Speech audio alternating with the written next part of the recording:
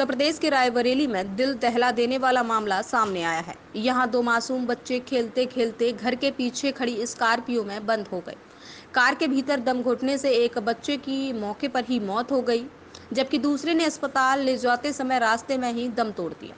दोनों आपस में कनिष्ठ थे। मामला डी हथाना इलाके के चियाना मोहल्ले का है, जहाँ यहाँ के रहने वाले राशिद की बहन चांदनी अपने चार वर्षीय बेटे अब्दुल्लाह के साथ मायके आई थी।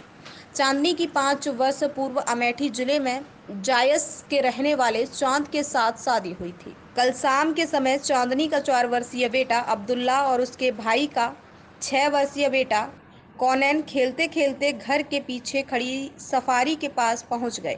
यहाँ दोनों बच्चे किसी तरह सफारी का दरवाज़ा खोलकर उसमें घुस गए।